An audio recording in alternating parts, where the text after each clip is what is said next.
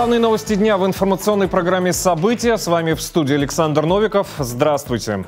В Брянской областной думе прошло 71-е завершающее в этом году заседание. Какие вопросы рассмотрели парламентарии, расскажу в своем сюжете я, Дмитрий Белов. Кубок губернатора Брянской области по фехтованию. Такие соревнования проводятся впервые, а подробности расскажу вам я, Андрей Мамошин. Развитие железных дорог в контексте обеспечения социально-экономического развития Российской Федерации. Брянская делегация приняла участие в четвертом железнодорожном съезде, который прошел в Москве. Смотрите мой репортаж, я Александр Новиков. Во всех школах Брянской области пройдут новогодние мероприятия. Об этом губернатору Александру Богомазу доложила директор Департамента образования и науки Алевтина Андреева на еженедельном оперативном совещании.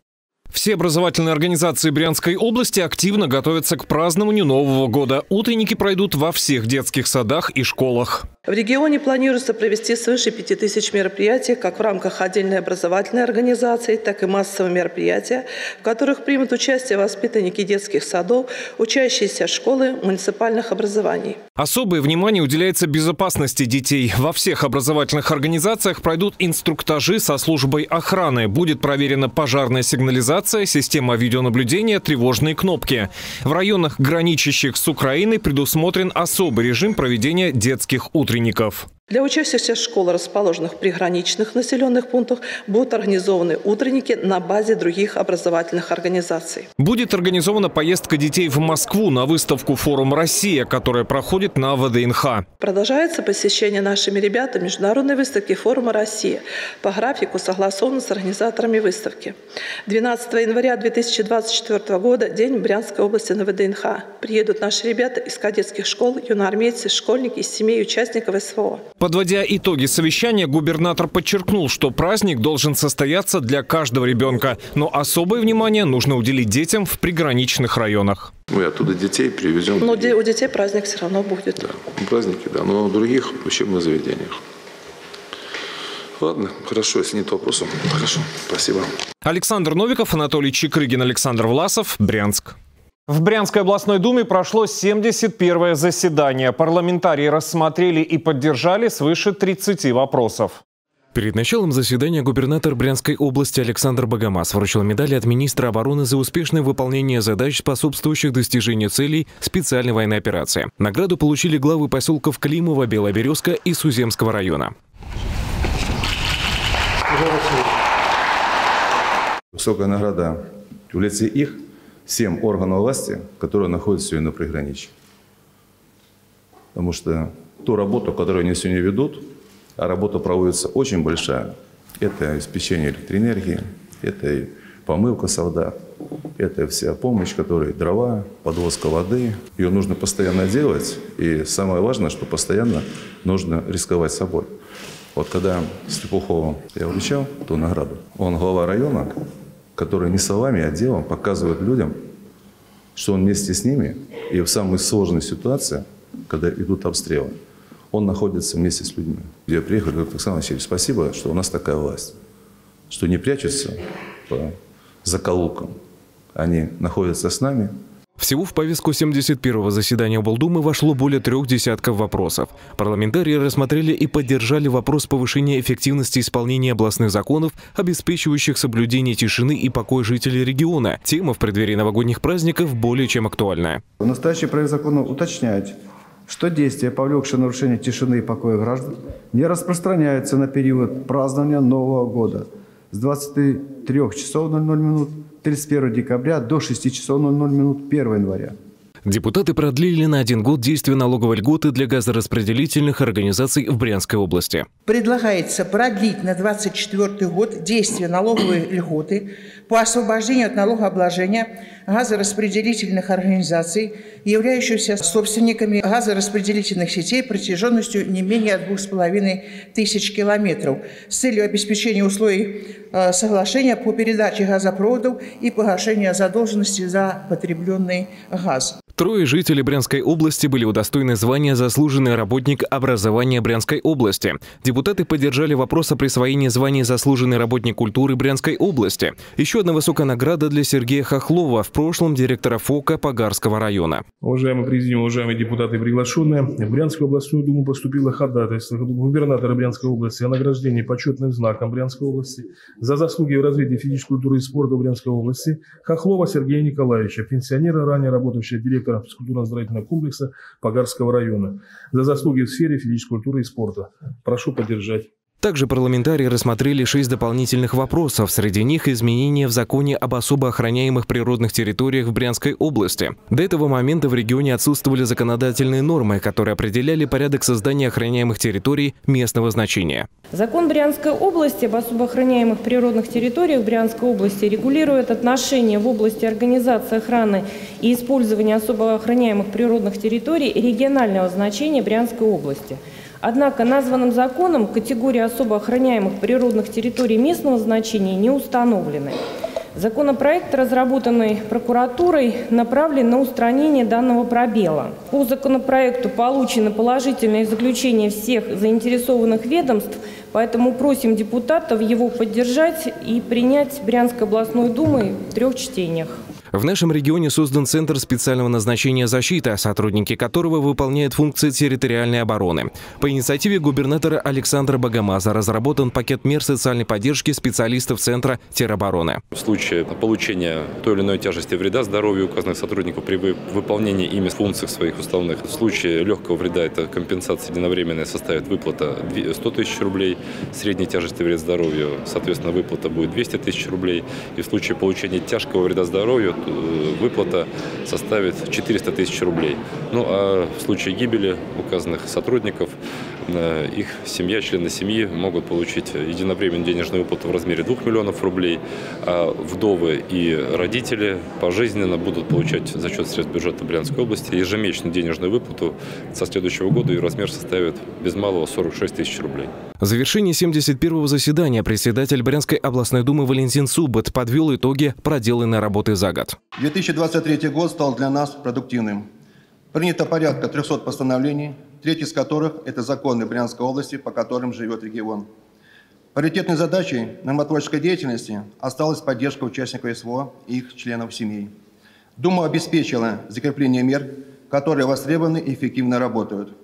Помимо совершенствования областного законодательства, за год было подготовлено 6 инициатив, которые направлены в Государственную Думу, также два наших более ранних предложения были поддержаны нашими коллегами-депутатами Государственной Думы. В целом повестка 2023 года была нацелена на то, чтобы законодательно обеспечить реализацию в регионе поручений нашего национального лидера Владимира Владимировича Путина. Дмитрий Белов, Алексей Рязанцев, Сергей Севастьянов, Брянск. Во Дворце единоборств имени Артема Осипенко стартовал Кубок губернатора по фехтованию. Открыл турнир Александр Богомаз. Тимофей уже четвертый год держит в руках рапиру с первого класса. Это еще разминка, но скажем сразу, парню удастся взять призовое место на Кубке губернатора по фехтованию. А что самое главное в фехтовании, как ты думаешь? Ну, уметь собираться и уметь контролировать эмоции. А еще развивать скорость, точность. Тут и родители находят десятки плюсов, отдавая ребенка в этот вид спорта. Самое интересное, что он дает, это, конечно, выдержку, координацию, реакцию, что, в принципе, это один из самых быстрых видов спорта. То есть, и думать, э, так как в рапире у них есть тактика, то есть здесь именно думать и быстро думать, быстро принимать решения. Это одно из основных видов спорта. Но ну, а самое из чего, когда уже стали заниматься, прочитали, оказывается, у раперистов не бывает плохого зрения за счет того, что маска сетчатая, это служит как очки для массажа глаз. Такой турнир первый в истории брянского фехтования и принимает его дворец единоборств имени Артема Осипенко, десятикратного чемпиона мира. И, возможно, эти кубки и медали станут для мальчишек и девчонок, которые недавно взяли в руки рапиры, отправной точкой в большой спорт. Фехтование – это тот вид спорта, который сегодня у нас не распространен, только в Брянске, здесь, в Советском районе, в Владарском районе города Брянска. Бежицы сейчас, как мне сказал главный тренер наш Владимирович, который приехал с Украины сюда к нам, сам призер, чемпион Украины, чемпион Европы. Вот. И сегодня такой спортсмен, высококлассный спортсмен, занимается с вами и передает те навыки, которые имеет сам. Это очень важно, когда люди, которые достигли высот, они сегодня занимаются с нашими детьми, и все то лучшее, которые когда-то достигли сами, они передают нашим детям. Наша задача взрослых – это сделать все, чтобы наши дети, наши наследники выросли умными и здоровыми. И, конечно же, целеустремленными. Вот данный вид спорта, как говорит наш национальный лидер Владимир Путин, он учит именно спортсмена боевой вид спорта, нанося один удар или один укол, добиваться победы, добиваться победы и выигрывать. Это то, что я желаю вам, ребята, чтобы вы всегда выигрывали.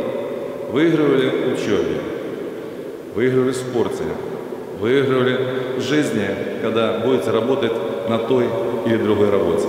Чтобы вы выросли достойными представителями нашей великой страны и нашего великого народа. После большого перерыва фехтование в Брянске живет уже 9 лет. И сегодня это 250 ребят, 7 перворазрядников, 69 школьников с юношескими разрядами. По итогам соревнований 23 года губернатор вручил фехтовальщикам разрядные книжки.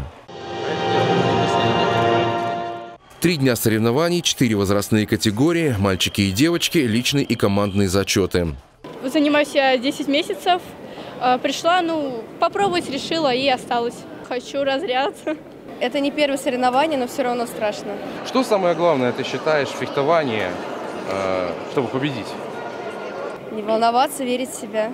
Очень нравится вид спорта. Я им занималась еще до этого, только сценическим фехтованием, два года. И решила пойти на спортивное, когда открылась в Брянске. Ну, а ты вообще не считаешь, что это мужской вид спорта? Нет. А почему? Все-таки это оружие какое-никакое. Такой грациозный, очень такой пластичный даже.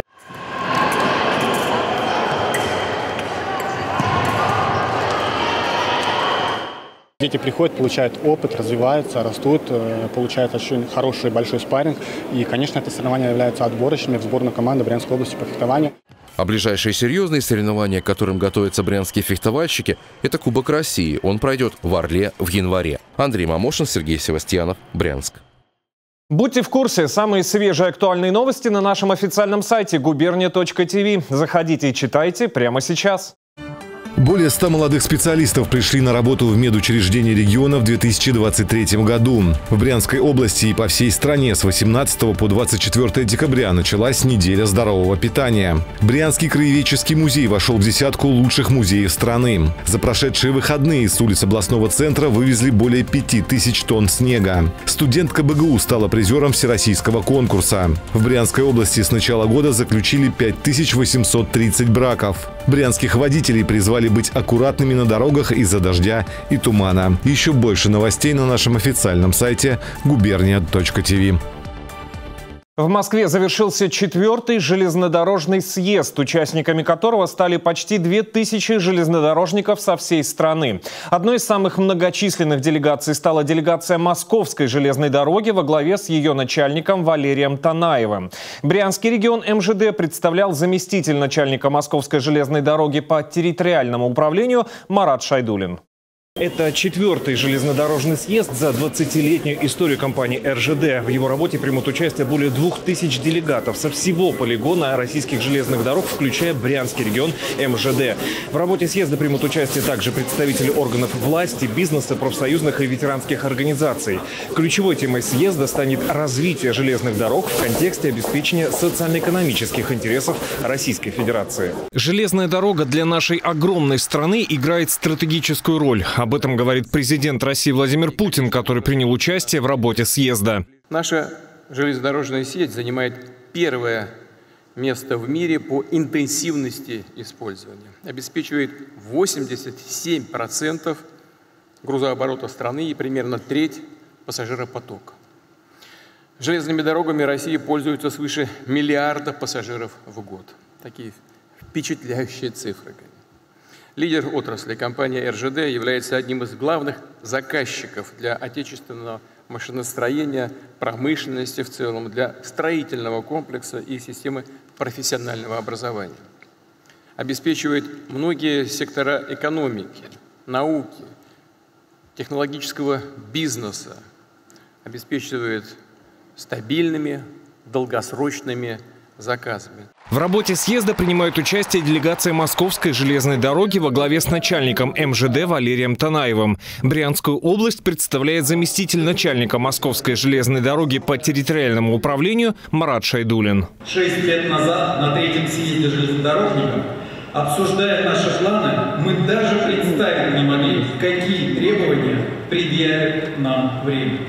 Пройден период пандемии, уже ставший страницей в истории в которой, как и всегда, отмечена ответственная и профессиональная работа всей железнодорожной отрасли. Президент вручил государственные награды лучшим железнодорожникам. Среди награжденных сотрудники Московской железной дороги, начальник строительно-монтажного поезда Сергей Щекодин и начальник путевой машинной станции номер 58 Саян Бадонов. Свой вклад в развитие РЖД вносит и Брянский регион. По грузоперевозкам мы ставим рекорды. Рост более 68%. У нас э, собственные резервы очень большие на самом деле. Большой рост э, цемента показало в этом году. А также у нас э, это наше зерно, э, сельскохозяйственные перевозки. Плюс э, немаловажный проект – это отгрузка мясной продукции Мираторга. Да, там небольшие объемы перевозок в плане тонн, но здесь неплохие начисления в виде ну, финансовой выручки.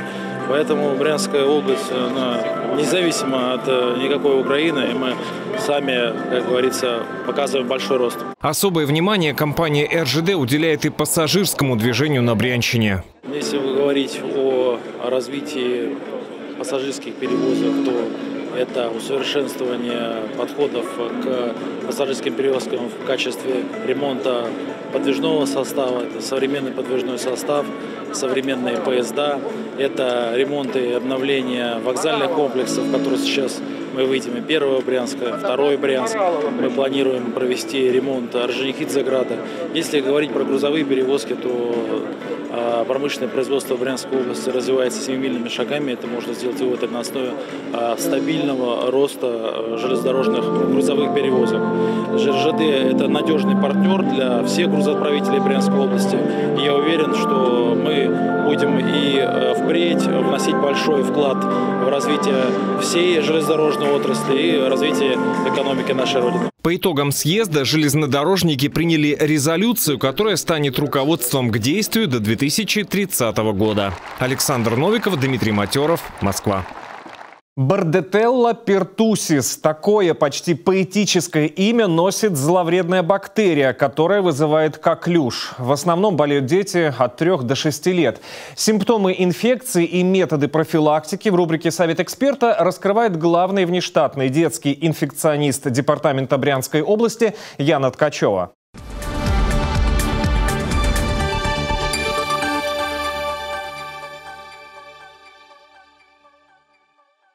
Проявляется это заболевание в основном кашлем, приступообразным, надсадным. Ребенок во время приступа кашля, а он появляется чаще в ночное время, синеет, краснеет, у него даже может быть остановка дыхания. Наиболее опасна эта инфекция для детей раннего возраста. Эти детки лечатся в основном в условиях стационара. Мы успешно справляемся с этой инфекцией, но несмотря на это, необходимо обязательно ее профилактировать. Основным и наиболее важным и эффективным методом профилактики является вакцинация. Помимо вакцины профилактики нельзя забывать об соблюдении личной гигиены. Не забывайте, что необходимо чаще мыть руки, минимизировать прикосновение рук к лицу и коже ребенка. Также нельзя водить детей в детский сад и в школу уже при первых признаках инфекции. Все вирусные заболевания, они начинаются примерно одинаково, с катаральных явлений, с повышения температуры, но это может быть также манифестацией и коклюша, и других серьезных инфекционных заболеваний. Поэтому профилактика общая также важна. Необходимо регулярно проветривать, а также э, проводить влажную уборку как дома, так и в дошкольных и школьных учреждениях.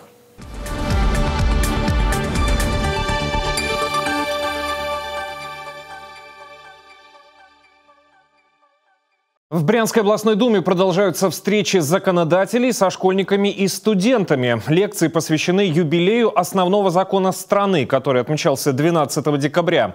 Очередной патриотический урок для подростков из 64-й школы провел Герой России, председатель Комитета по молодежной политике, физической культуре и спорту Александр Постоялко.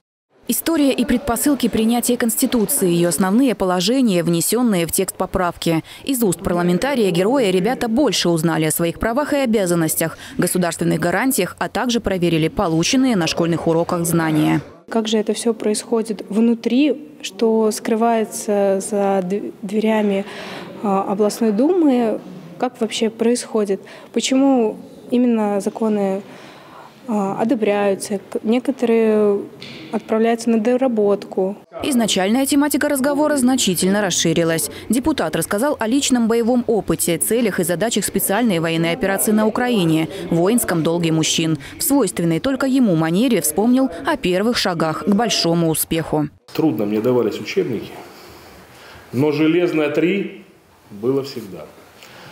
Но я с испугу вступительные экзамены в училище военное сдал на отлично.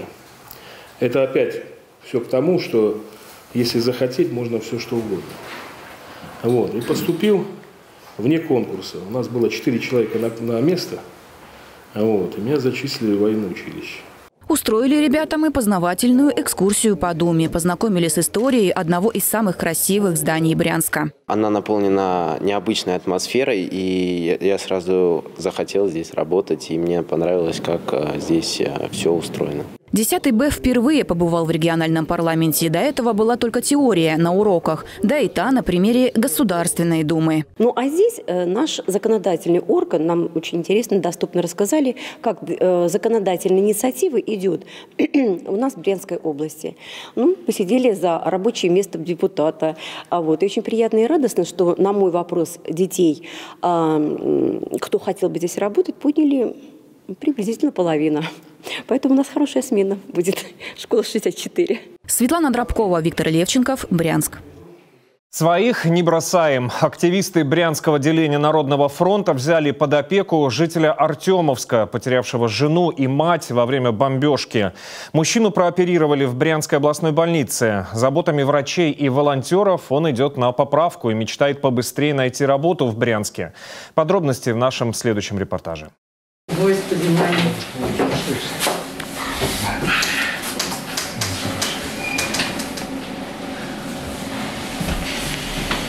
Ой. Ну как ты, мой хороший? Потерявший жену и мать, житель Артемовска возвращается к жизни в Брянске. Переехать 40-летнему Сергею Сироткину и его шестилетнему сыну Коле в Брянскую область к родственникам помог Народный фронт. Уже чувствую, что полегче, иду на поправку. Хожу потихоньку, но пока с костылями. На ногу наступаете уже? Ну, конечно. Ну, покажите, как это у вас получается. Ну, отлично. Отлично.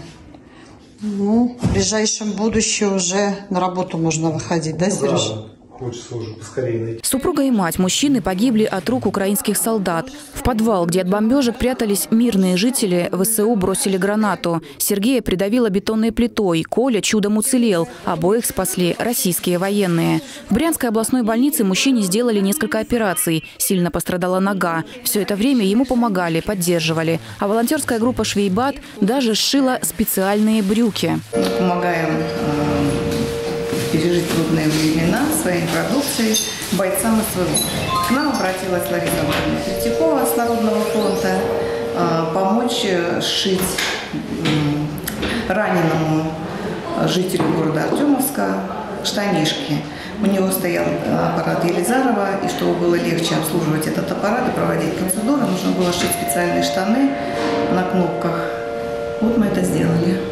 Пока папа лечился, Коля занимался со специалистами. У мальчика и раньше были некоторые проблемы со здоровьем, а пережитое сильно усугубило их. На днях Сергея выписали. Народный фронт продолжает участвовать в его судьбе. Светлана Дробкова, Брянск.